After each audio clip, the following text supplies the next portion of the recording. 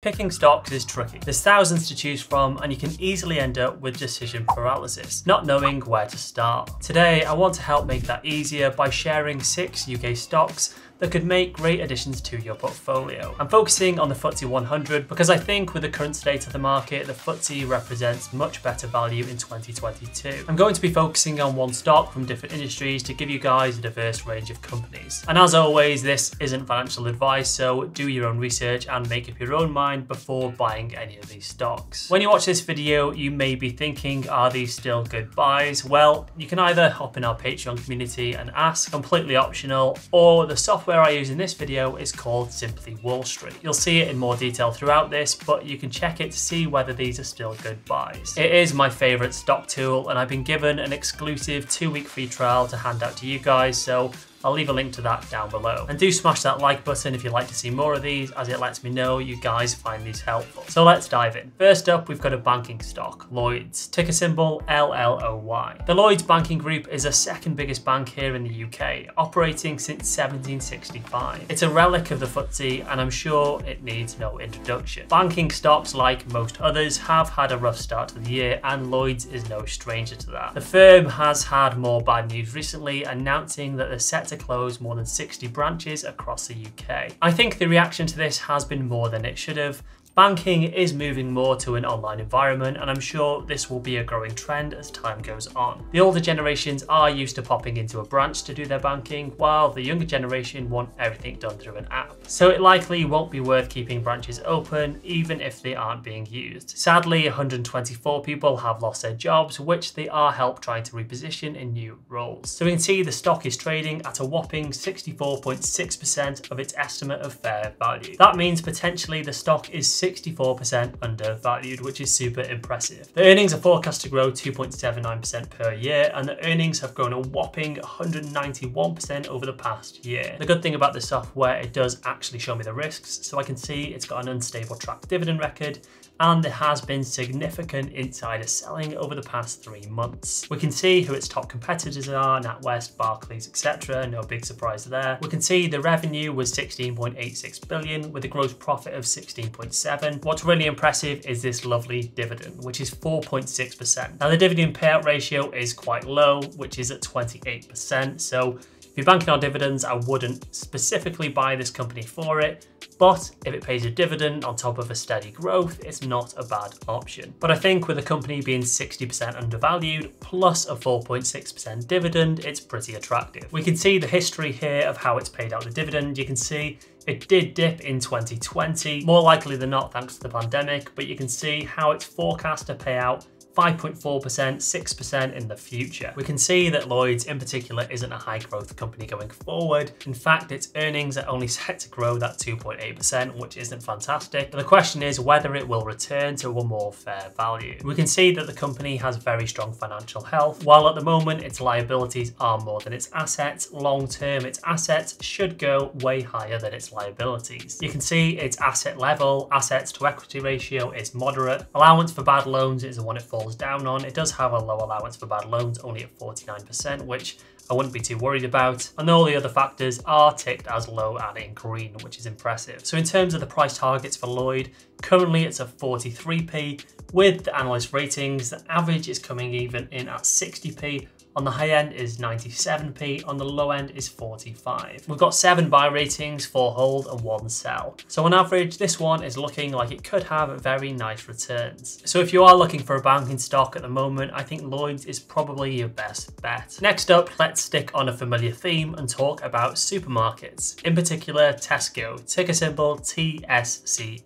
Tesco are the biggest retailer in the UK with over 4,000 stores and has held over a 20% share of the industry for the past two decades, which is very impressive. The thing I really like about Tesco, above and beyond anything else I'll mention here, is their adaptability. In my opinion, Tesco are head and shoulders above the other supermarkets, and that's as an all-in-one supermarket, because let's face it, there are brands we miss when shopping in Aldi or Lidl. I was going to two supermarkets every week, but as of late, I'm only picking up a few bits from Aldi now. In fact, in most Tesco stores, there's an entire unbranded section, which feels exactly like shopping in Aldi. They've got their self-scan, great club card rewards, and I was surprised by how good their restaurant menu is now. And recently, they're including things like your Sushi counters, not to mention they have by far the best range of gluten-free options for meat on the market. It just feels like they're very responsive and adapt much quicker than any of the competitors. So currently, Tesco is trading at 52.8% its estimate of fair value. The earnings are forecast to grow only 2.7% per year,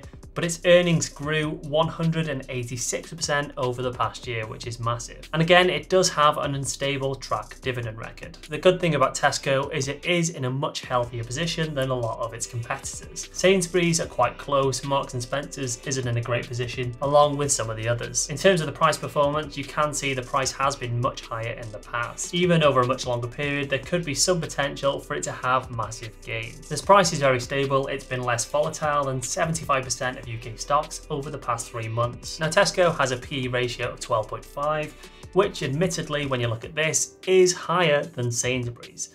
But when you look in more detail, you can see it's got a market cap of 19 billion, PE ratio of 12.5, and its earnings are forecast to grow 2.7%. But Sainsbury's, on the other hand, with a 4.9 bill market cap, P ratio of 7.2, but its earnings are forecast to go down 12.7% per year, which in my book makes Tesco look much more attractive. Where Tesco does fall down is a future growth, doesn't look fantastic. Again, it's already got such a huge share of the market, but again, where it could do well is becoming more fairly valued. In terms of the financial health, it does have good debt levels, it's reducing its debt, and we can see in terms of the assets, the assets are actually quite close to the liabilities. And again, in the future, the assets should way outdo the the liabilities. In more detail here, we can see the debt level is quite satisfactory. It has been reducing its debt from 184% to 47% over the past five years. So you can see how committed they are to reducing their debt levels. And it's also well covered by their operating cash flow at 50%. The dividend yield is currently quite impressive at 4.28%. You can see it is slightly lower than the industry average at 4.7, but again, it's a much more stable company. The company paid a nice dividend of around 4%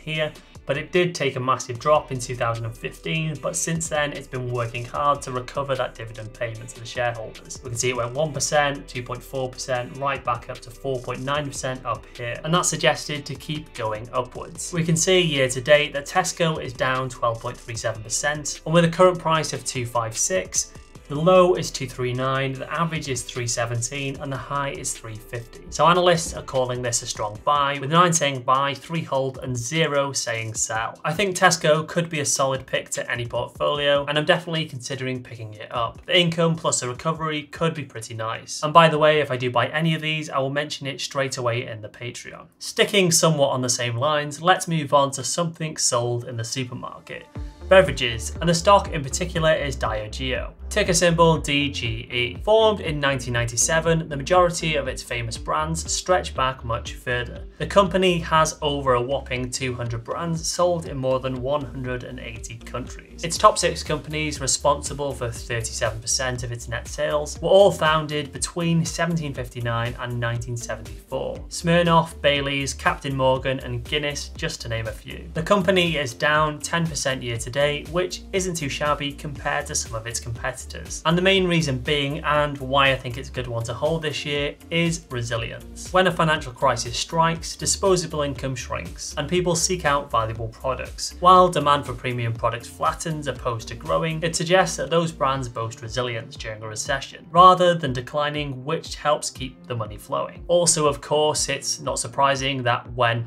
it's the fan people love to drink. We can see that the stock is trading 20% below its estimate of fair value. The earnings are forecast to grow 8% per year and earnings grew by 170.9% over the past year. You can see there's a theme with these companies, they've all had massive growth over the last year. And it does pay a reliable dividend of 2%, which is a nice change. The risk is the company has a high level of debt but the debt isn't particularly being used in a bad way, which is good. The company has the ability to ditch that debt if it wanted to. Now, unfortunately, the downside with this company is it is more expensive. The P ratio is 27.4 compared to some of its competitors, which are as low as 11 or 8.5 it is expensive. But the reason it's kind of so expensive is because you're paying for solid brands. These aren't companies that are just going to flutter and disappear overnight. The solid brands have been around for years and years, and it is paying you that reliable dividend. You can see it is slightly overpriced and a fairer PE would be 23.7, but that's not something I'm too worried about. And you can see it has always pretty much paid around a 2% dividend. So if you want a reliable dividend, this will be a good option. It has a good payout ratio, which is 56.7%, which is easily covered by its earnings. So we can see the current price is 3,691,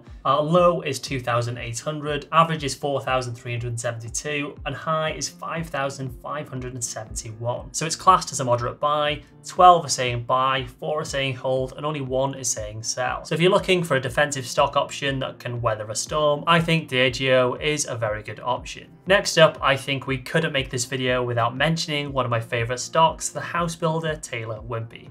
Ticker symbol TW. Taylor Wimpey is a house builder I've always done well with in the past. With a solid management team and a strong market share, I always feel comfortable having them in my portfolio. As of today, I own 27,700 in Taylor Wimpey. Now, while I'm currently down, I think it just represents even better value for you. The stock is down 32% year to date. I picked them up when they were around 20% down, mostly due to the rising concern that house prices will slump with the rise of inflation. I think this has been somewhat of an overreaction and represents represents a good buying opportunity. The stock is trading at 52% below its estimate of fair value. The earnings are forecast to grow 10.72% per year, and they grew by 156% over the past year. But they do have an unstable dividend track record. The impressive thing about Taylor Wimpey is their valuation. You can see on all of the criteria they are ticking as green. The PE ratio to the peers, PE ratio to the industry, and against fair value, and their ratio is below fair value, which is very impressive. You can see here how they compare to their peers. They're at 7.6 PE ratio, bang in the middle, but the earnings are forecast to grow 10% per year. There are quite a few companies here that are good value. Bellway are another one that might be worth taking a look at, but I don't actually like Bellway homes, which sounds awful. Give me the gossip. I went to look at some the other day and I just don't think they're as good quality. Sorry to anyone who's with Bellway and I've offended you, just not for me. We can see their current PE ratio is 7.6, but a fair PE would be 17.9, so they are massively undervalued. The share price is currently only £1.19 and a fair value would be £2.53, which is a massive difference. The dividend is currently massive at 7.44%, but as I mentioned, it has been a bit unreliable. You can see in the past, 2013, it was only 0.6%, then it was up to 6.4, up to nearly 10% dividend in 2019, and it did drop right back down in 2020 when it was cut, and it has recovered as of recent 7%, 6.9, 7.4, 8.2, and it's currently at 7.4, and it's forecast to grow right back up to 10%. Now, although you might look at dividends and it might look crazy that they're cutting it, thinking, oh no, what are they doing? I have it all under control. But actually, sometimes companies are not focused on giving you income. While you find some quite boring ones that have got spare cash that want to give it to you all the time, others are going to be using that money to focus on their growth. So actually them cutting the dividend isn't always a bad option. If they put that cash into the business and it grows more or it makes the company more stable, then it's not a bad thing. Along the surface, of course, it might look like one. So this is really impressive. The current price of Taylor Wimpey is 120. The lowest estimate is 180 the average is 217 and the high is 280. So honestly, I don't think you can go far wrong with Taylor Wimpey. I'll be continuing to buy it and will likely pick up some more soon. Next up is a communications company I recommended earlier this year, Vodafone, with a ticker symbol VOD. Since I recommended Vodafone, they've actually had a pretty amazing year, up 11% so far this year, while the rest of the market is falling. Vodafone is a huge company with a 43.8% in total revenue, 77% in Europe, Europe and 16% in Africa. 69% to consumers and 27 is made up of business customers. It's currently trading at 76.9% below its estimate of fair value. Its earnings are forecast to grow about 5% per year, but its earnings grew a whopping 1,764% over the past year. But it does have a high level of debt, and although it does have a high dividend of 6.1%, it's not covered well by its earnings. And you can see it has actually managed to pay a dividend pretty much every single year.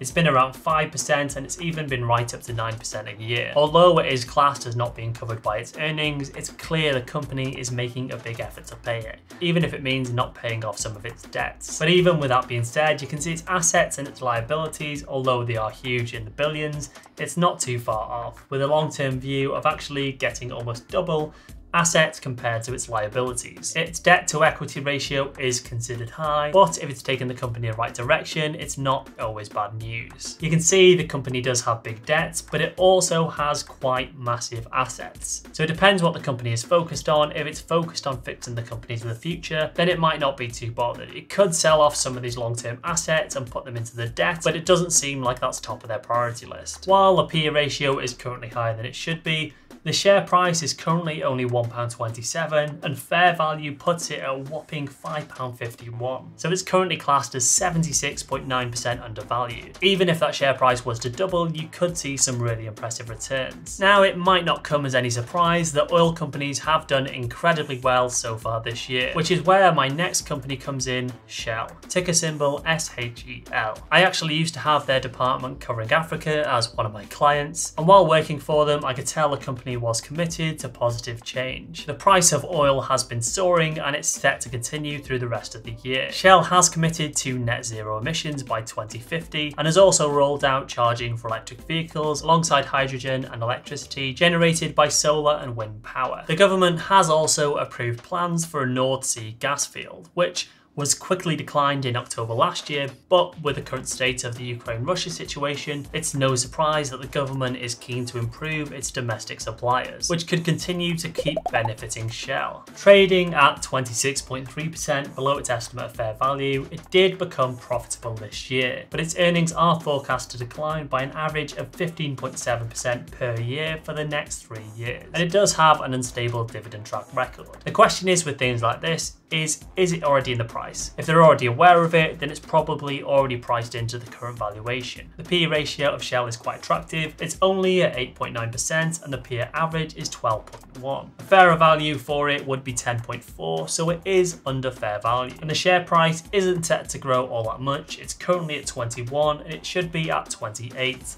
but that still is a 26% gap. Other forecasts show with it at $52 right now, the low end is 60, an average is 68, and the high is 75. So again, it's showing an upside, which is in the high 20s, nearly 30. The dividend is impressive and it's 3.85%. It has been quite unstable in the past. It's been as high as 5%, even 8 and up to 10%, but it has dipped back down to around 3 or 4. So if you're buying it just for income, maybe not the best option, but if you want a company that's going to grow into the future with things like clean energy, I know strictly clean energy companies might seem nice, but realistically, it's probably going to be companies that have got huge money behind them that are going to dominate the space. And with their new pledge, it seems like this is the way they're heading. So it could be a nice stock with some solid growth through 2022. The next up is one you're probably less familiar with, which is Smith & Nephew, with the ticker symbol SN. They're a leading medical technology business with a focus on orthopedics, wound care and sports medicine. The business is continuing to recover from the impact of COVID-19, but all of its business lines did deliver financial growth growth in the most recent financial year. Supply chain issues have been a problem, but these aren't unique to just this company. But it pays a very reliable dividend and it has every single year it's been listed on the stock market, which is over 70 years. It's trading at 36.7% the estimate of fair value,